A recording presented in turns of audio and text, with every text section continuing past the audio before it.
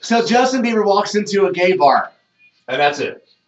It happened. It did happen, but it's really not like a big deal. He was there before any club patrons showed up. Right. With just his bodyguard, he went in to get a beer. Yeah. Uh, and then He didn't left. know, apparently. Well, that's what his bodyguard said. He didn't know that it was that it was a gay bar, and Right. he left before anyone started showing up anyway. Right. So he wouldn't have had any encounters with anybody to begin with. Yeah. Uh, but I guess the story is that he walked into a gay bar and he Right. didn't know, and, and who, So insert your own Justin Bieber joke I here. guess. We won't. You can.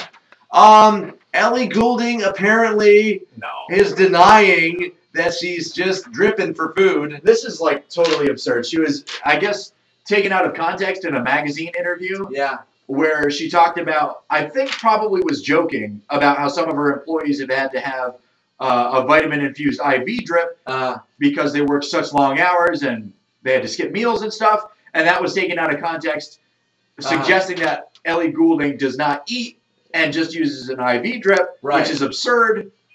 Uh, and Um, she, she had to fire back against the rumors saying that, yeah, she was quoted out of context and it's just totally outrageous.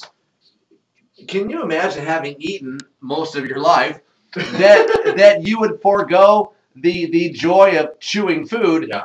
to just sit there and have an IV drip because you're too busy? It takes longer to get an IV drip than it does to just eat a sandwich. Exactly. You know, I have seen IV bars though. When I was in Las Vegas, I saw a bar Oh. for an IV drip. And No. you know what? I would never trust anybody in Las Vegas to put something in my arm. Ever. No, no. Put on your arm is one thing. In your arm is another. Totally different.